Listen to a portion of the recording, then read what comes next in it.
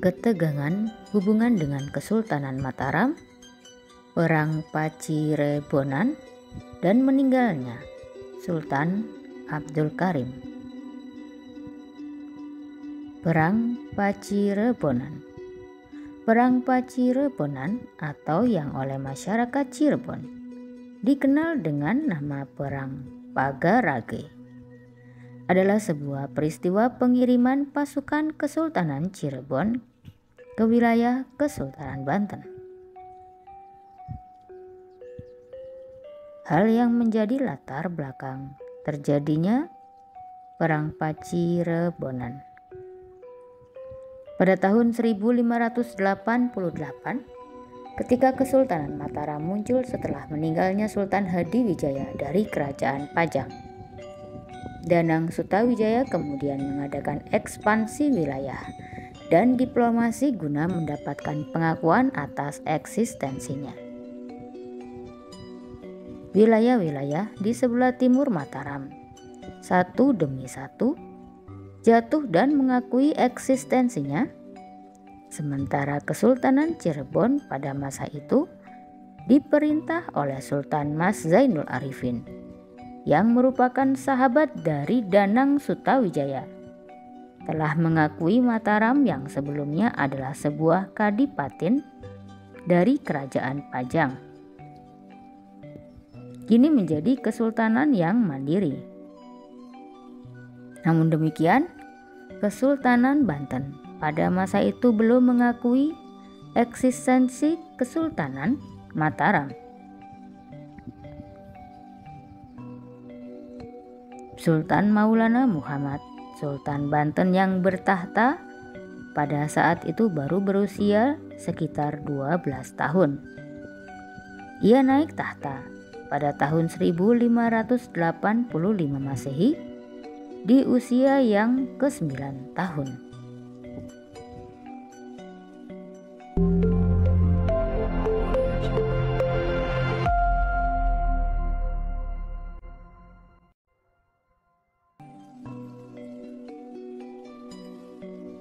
Assalamualaikum warahmatullahi wabarakatuh. Terima kasih sudah klik kembali video ini. Di malam ini, cerita Ulan akan melanjutkan tentang sejarah dari Kesultanan Cirebon. Kali ini, kita akan membicarakan tentang Perang Kacirebonan. Ketegangan antara Kesultanan Cirebon dengan Kesultanan Mataram. Seperti apa ceritanya? Ikuti terus ceritaku sampai selesai.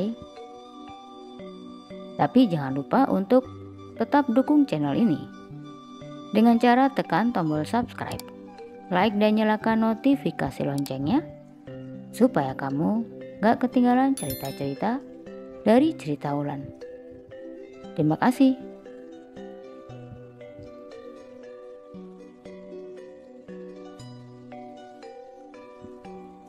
Kesultanan Banten pada masa awal pemerintahan Sultan Maulana Muhammad disibukkan dengan klaim tahta oleh Arya Jepara yang merupakan saudara Maulana Yusuf ayah dari Sultan Maulana Muhammad yang dibesarkan oleh Ratu Kalinyamat atau Putri Sultan Trenggono dari Demak yang sekaligus merupakan istri dari Pangeran Hadiri seorang adipati Jeporo.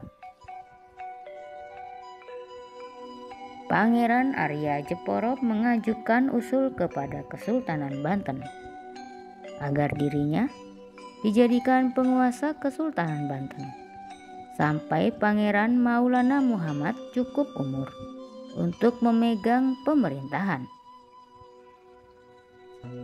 Tetapi usul tersebut ditolak oleh para pejabat Kesultanan Banten yang menganggap bahwa Pangeran Arya Jepara adalah orang luar Banten.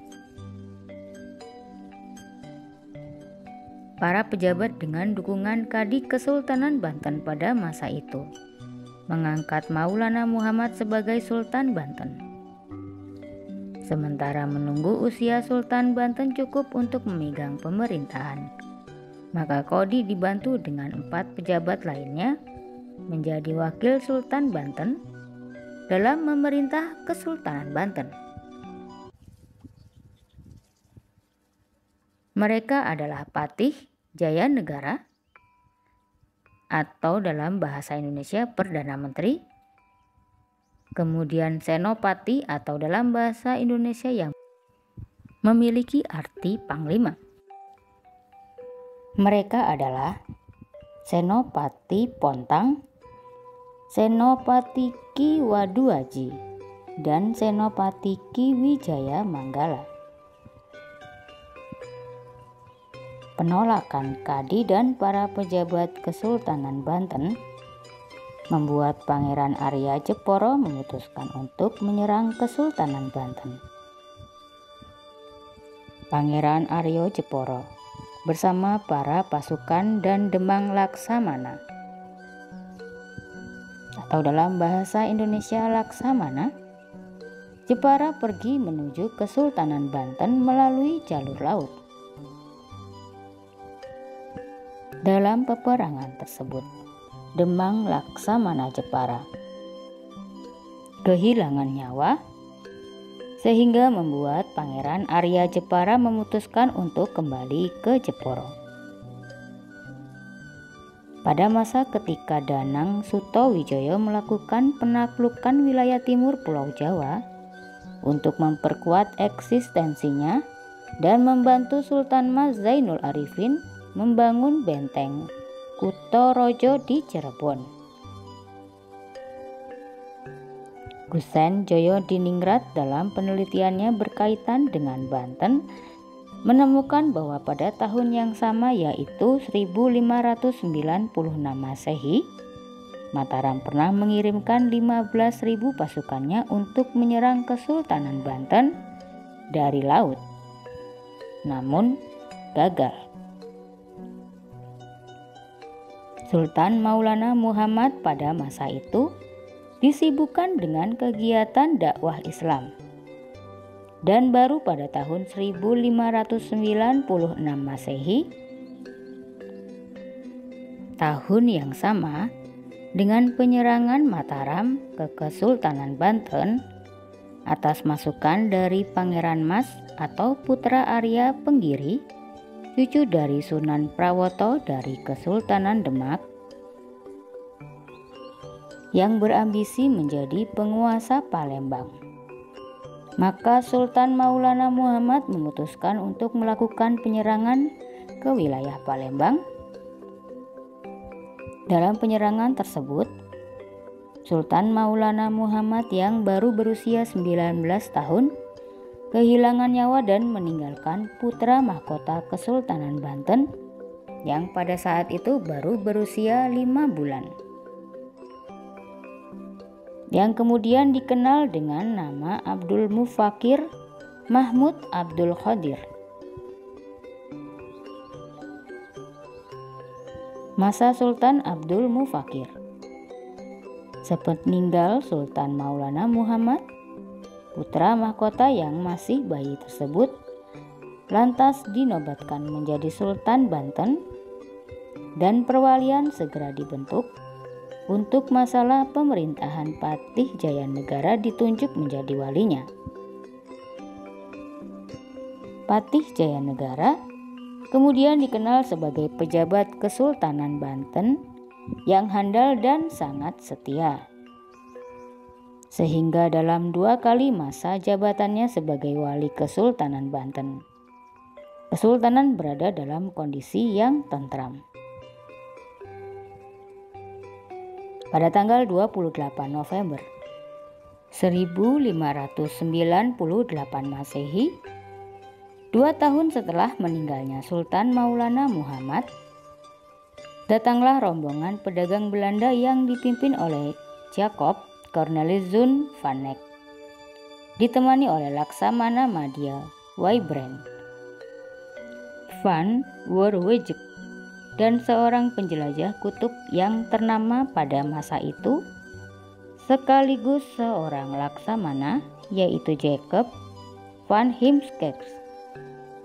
Van Heemskerk pernah berlayar ke kutub mengikuti rencana yang disusun pemerintah Belanda karena ketika terjadi perang 80 tahun antara Belanda dengan Spanyol.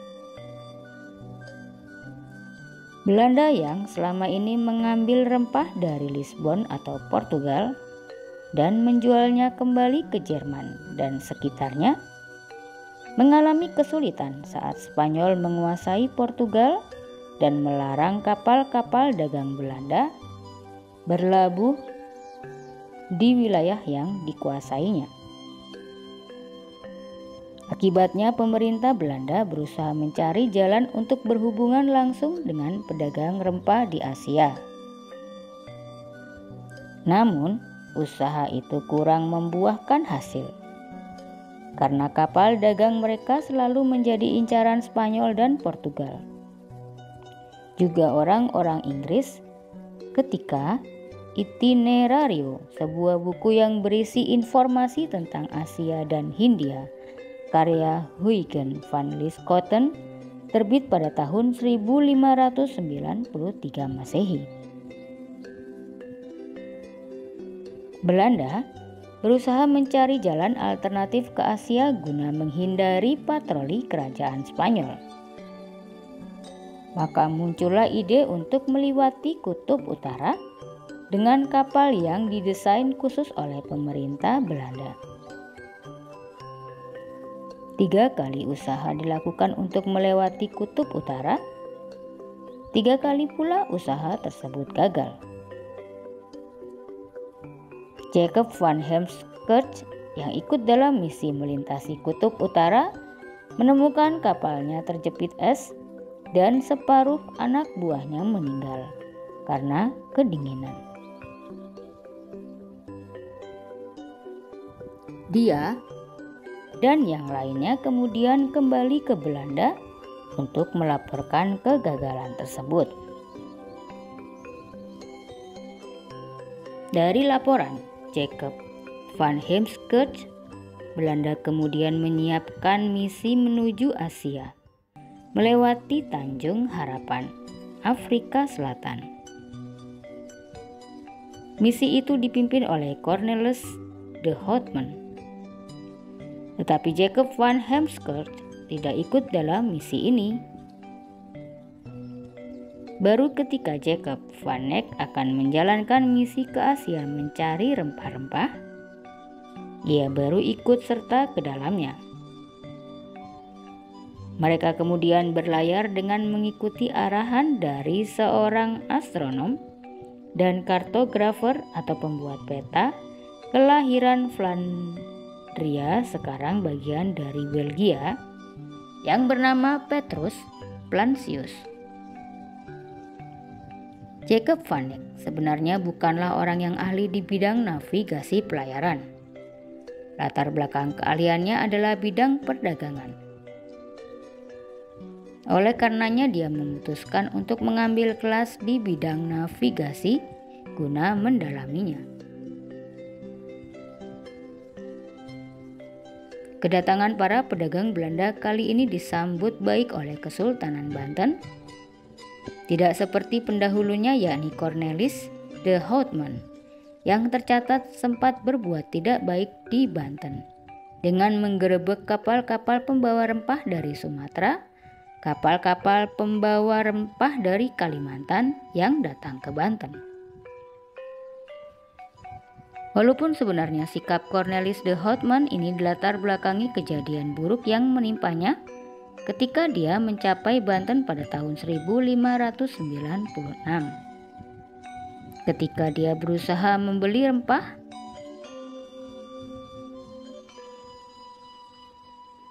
namun ia dan rombongannya ditangkap, kemudian dibebaskan setelah tebusan dibayar.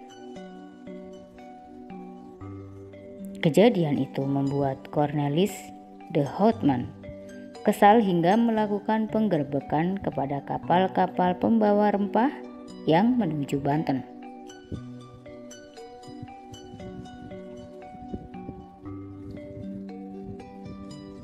Pembawaan Jacob, Cornelis Zun, Van Neck, dan rekan-rekannya dikatakan berbeda oleh masyarakat Banten. Sikapnya yang mudah membawa diri membuatnya diizinkan untuk bertemu dengan Sultan Abdul Mufakir yang ketika itu baru berusia sekitar dua tahun. Jacob Cornelis Zun van Eyck kemudian memberi sebuah piala berkaki emas sebagai hadiah kepada Sultan dan sebagai tanda persahabatan. Pada tahun 1602 Masehi, Patih Jaya Negara meninggal dunia. Posisi ini kemudian digantikan oleh adiknya, tetapi dia dipecat pada tanggal 17 November 1602 2 Masehi dengan alasan berkelakuan tidak baik. Ibunda Sultan yakni Nyi Gede Wonogiri kemudian menikah dengan seorang bangsawan keraton yang bernama Pangeran Camara. Dia kemudian mendesak agar suami barunya itu diperkenankan menjadi wali bagi Sultan Abdul Mufakir. Setelah suami barunya ini menjadi wali sultan, dia membuat berbagai perjanjian dagang dengan para pedagang asing. Wali sultan yang baru ini juga dituduh menerima suap sehingga perjanjian dagang yang dibuatnya cenderung menguntungkan beberapa pihak saja ketimbang kesultanan pada umumnya. Banyak rakyat Banten dan para pejabat tidak puas dengan keadaan ini ditambah banyak keributan di wilayah Kesultanan Banten yang diprakarsai oleh para pedagang asing yang berpihak pada pedagang Belanda atau Portugis. Keberadaan Patih sudah tidak dihiraukan oleh pejabat wilayah Kesultanan Banten sehingga dikatakan bahwa kekuasaan Patih yang sekaligus adalah suami dari Nyi Gede Wanogiri hanya terbatas pada keraton dan wilayah sekitarnya saja. Pada tahun 1604 Masehi terdapat insiden ditahannya sebuah kapal jung dari Johor oleh Pangeran Mandalika atau anak dari Pangeran Maulana Yusuf. Seruan Patih untuk melepaskan jung tersebut tidak dihiraukan. Bahkan, Pangeran Mandalika bersekutu dengan para pangeran lain dan orang-orang yang menentang kekuasaan Patih. Mereka kemudian membuat benteng pertahanan di luar kota. Masalah ini kemudian dapat diselesaikan dengan penyerangan ke benteng pertahanan Pangeran Mandalika oleh Pangeran Jayakarta yang dibantu oleh Inggris pada tahun 1605 Masehi. Ketika Pangeran Jayakarta datang ke Banten bersama pasukannya untuk menghadiri acara khitanan Sultan Abdul Mufakir Abdul Qadir. Pada saat itu Patih meminta bantuannya. Akhirnya perjanjian damai dilakukan antara Kesultanan Banten dengan kubu Pangeran Mandalika. Dikatakan bahwa mereka diharuskan meninggalkan wilayah Kesultanan Banten selambatnya enam hari dan hanya boleh diikuti oleh 30 orang anggota lainnya.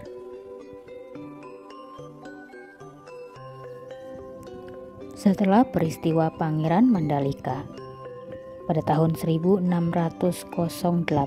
Masehi, terjadi lagi peristiwa yang dikenal dengan nama Pailir atau dalam bahasa Indonesia bertempat di hilir. Peristiwa peperangan antara para pangeran dari keraton di bawah perintah Pangeran Rana Manggala dengan kubu Pangeran Kulon dan para punggawa. Sebenarnya peristiwa Pailir disebabkan oleh peristiwa yang terjadi setelah Pangeran Rana Manggala dan teman-temannya bersekutu untuk menghilangkan nyawa Patih yang juga merupakan suami dari Nyi Gede Wonogiri. keadaan Kesultanan Banten setelah peristiwa Pangeran Mandalika tidak bisa dikatakan membaik. Di daerah, para penguasa sibuk mempersenjatai diri untuk memperkuat kedudukannya masing-masing. Tidak jarang untuk memenuhi hal tersebut, mereka lakukan dengan jalan merampok kapal-kapal dagang sehingga membuat pedagang berpikir bahwa Kesultanan Banten tidak aman untuk berdagang. Hal ini kemudian yang menyebabkan kondisi perdagangan di Kesultanan Banten terhenti sebagaimana pernyataan pedagang Belanda Jack West Hermeiter yang menyatakan bahwa perdagangan di kota Banten terhenti pada bulan Juli tahun 1608 Masehi. Kacaunya, kondisi Kesultanan Banten kemudian oleh Pangeran Rana Manggala, Pangeran Mandura, Pangeran Kulon, Pangeran Singaraja, Tubagus Kulon, Depati Yuda Negara, dan yang lainnya mengadakan pertemuan guna membahas kondisi Banten. Disimpulkan bahwa semuanya terjadi akibat kesalahan Patih dari mulai membuat kebijakan yang tidak memihak Kesultanan Banten hingga lainnya di mana figurnya tak dapat dijadikan panutan. Pada pertemuan tersebut kemudian disepakati untuk menghilangkan nyawa Patih sebagai penyebab masalah yang terjadi.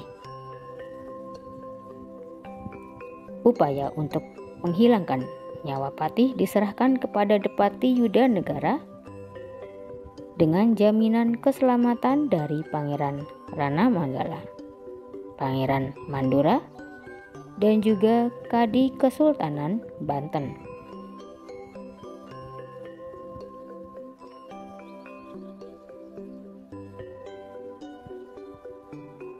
Sampai di sini dulu cerita tentang Perang Kaci Rebonan pertama. Selanjutnya akan kembali aku ceritakan di kesempatan berikutnya. Terima kasih sudah menyimak ceritaku dari awal hingga akhir. Sampai jumpa di cerita ulan berikutnya. Wassalamualaikum warahmatullahi wabarakatuh.